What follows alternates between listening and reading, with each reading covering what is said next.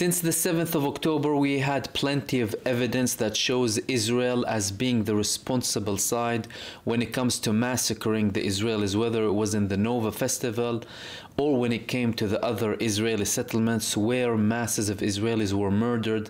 Many of them came forward and said that they were killed due to crossfiring primarily from the IDF. We later on had statements from IDF pilots confirming that they were ordered to shoot at every vehicle going back to Gaza. We've had statements coming out from Israeli prisoners who left Gaza, who were released, confirming that they were shot at, they were targeted multiple times in an attempt to kill them. Israel tried to hide most of this as much as possible.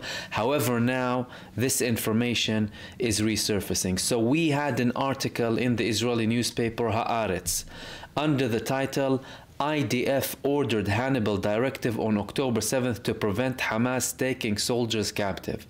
They said there was hysteria and decisions started being made without verified information.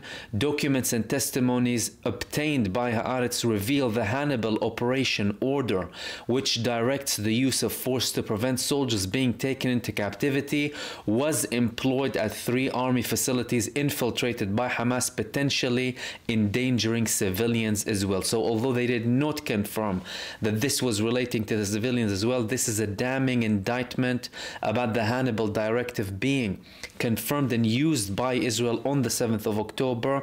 And we also had the further evidence to elaborate that they shot their own civilians and carried out the massacres on the Israelis to justify the genocide in Gaza that's still taking place to this day. And although many people had this information before, they covered it up and followed the lies and the propaganda and the pseudo narrative of the official Israeli government and justified and to this day justify the genocide of the Palestinian people in Gaza.